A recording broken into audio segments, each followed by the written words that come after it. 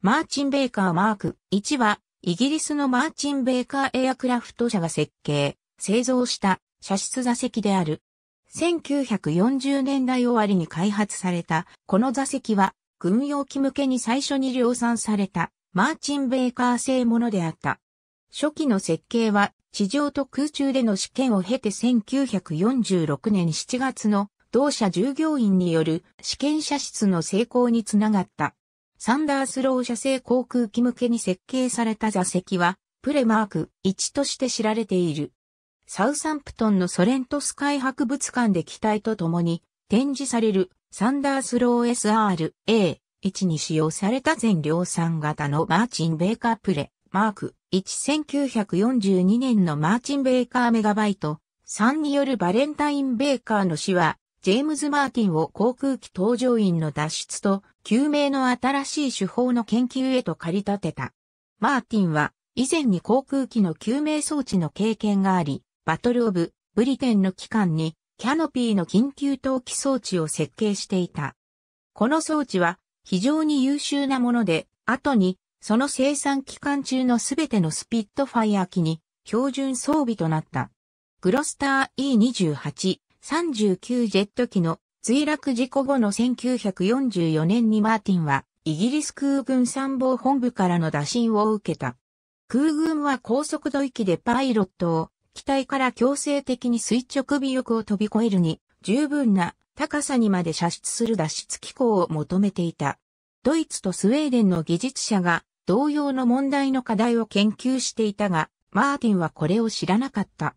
当初マーティンは当時収益中の既存の戦闘機の機体に後付け可能な装置を研究していた。最初の設計はヒンジが垂直尾翼の近くにあるバネ仕掛けで作動するスイングアームを使用した機構であった。マーチン・ベーカー社に改造とテスト用にボールトンポールデファイアント機が貸し与えられたが、この方式の研究は進められなかった。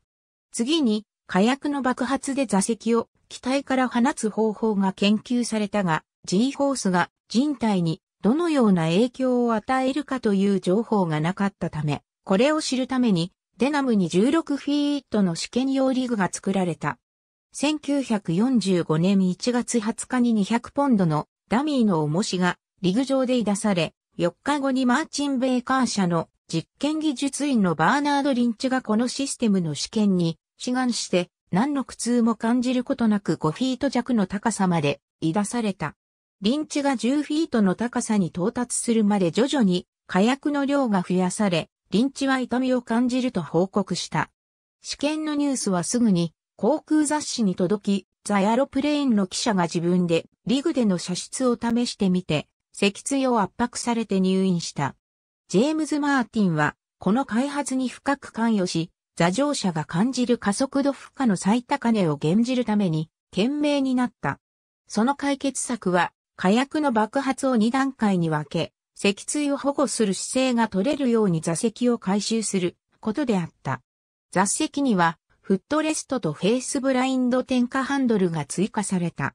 新しい高さ65フィートの試験リグに移行されるまで16フィートリグでおおよそ200回の試験が実施された。1945年8月17日にバーナード・リンチが再度この新しいリグを初めて使用して26フィート強の高さまで出された。その一方で空中での射出試験が必要なことは明らかであり、試験用に対応されたデファイアント機の後部銃刀が撤去されて、1945年5月10日にそこに備え付けられた座席が地上に係留された機体から出された。翌日には空中での射出が行われ、さらに5回の空中での試験で、待機速度形状300マイル毎時までの速度域で、射出試験は成功した。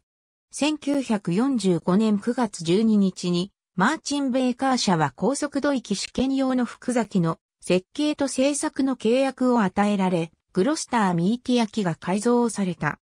この機体での最初の空中試験は1946年6月にジャルグローブ飛行場上空で実施されたが、ダミーを用いたこの試験は415マイル毎時という高速度でパラシュートが早期解散してしまい失敗に終わった。遅延解散装置が開発されたが、当初は数々の問題に悩まされた。数多くの試験を重ねてこのシステムが生身の人間にとっても十分に安全であるとの感触が得られると、1946年7月26日に再びバーナード・リンチが志願して、チャルグローブ上空8000フィートで、ミーティア機の後部座席から自ら射出した。徐々に高度と速度を上げて、ある時は生身の人間でまたある時はダミーでと数多くの試験が続けられた。1948年にはイギリス空軍や艦隊航空隊の航空機での使用のために量産に入る程度に設計は十分に固まっていた。これらからの発注に先立ちサンダースロー社が自社の SR-A1 ジェット推進飛行艇用の射出座席を要請してきた。この座席はプレマーク1として知られ、量産型のマーク1に盛り込まれたすべての改良点は備えていなかった。1949年5月30日にアームストロング・ホイットワース・オータム・ウィンター52の試作初号機 TS363 が墜落し、パイロットの J.O. ランカスターは、プレマーク1射出座席を使用して命拾いをした。これがイギリス人パイロットによる初の緊急射出であった。フェースブラインド点火ハンドルを操作すると、座席背後にある順次点火される2つの火薬が仕込まれた伸縮自在管の四重塔に点火を開始する。座席がガイドレールを上昇すると緊急酸素供給装置が作動する。座席がさらに上昇し機外へ出ると、コックピットの床に取り付けてある引き綱がドローグガンという名で知られる工作に点火して、これが座席の降下軌道を安定させる二つの小型パラシュートを解散させる。この後で座乗者は自身の手でシートベルトを外し、リップコードを引いて手動でシュラッカ山を開く。イギリス空軍博物館ロンドン館に展示されているマーチン・ベーカーマーク 1C 射出座席以下の機種の開発の過程でマーチン・ベーカーマーク1射出座席が装備された。リストフロムマーチン・ベーカー。ありがとうございます。